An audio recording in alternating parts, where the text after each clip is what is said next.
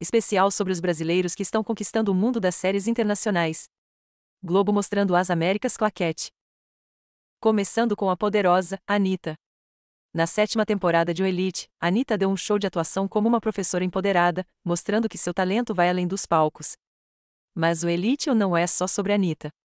A série retrata a vida de três jovens de origem humilde que enfrentam desafios, amores e mistérios em um colégio de elite.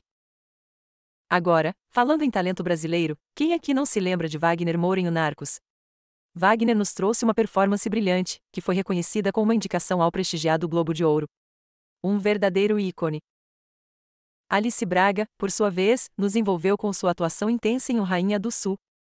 Interpretando Teresa Mendoza, ela nos apresenta uma trama recheada de drama, onde enfrenta um cartel perigoso, contando apenas com sua astúcia e um caderno misterioso para sobreviver.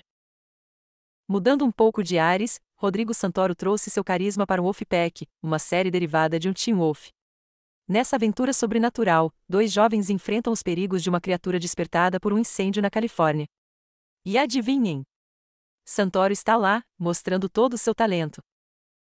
A talentosa Sônia Braga também marcou presença em séries internacionais. Com participações em O Brothers e Sisters, Royal Painzo e, é claro, como a mãe de Claire Temple em Luke Cage, ela nos mostrou que talento é de família. E por falar em talento, não podemos esquecer de Morena Baccarin. A atriz brilhou em um V, foi indicada ao Emmy por Homeland e até deu voz à inteligência artificial Gideon em The Flash. E, claro, quem acompanha o Gotham sabe o quão incrível ela é. Então, se você é fã de séries e adora ver nosso Brasil sendo representado lá fora, esses são os nomes para ficar de olho. Não perca a chance de conferir essas atuações magníficas.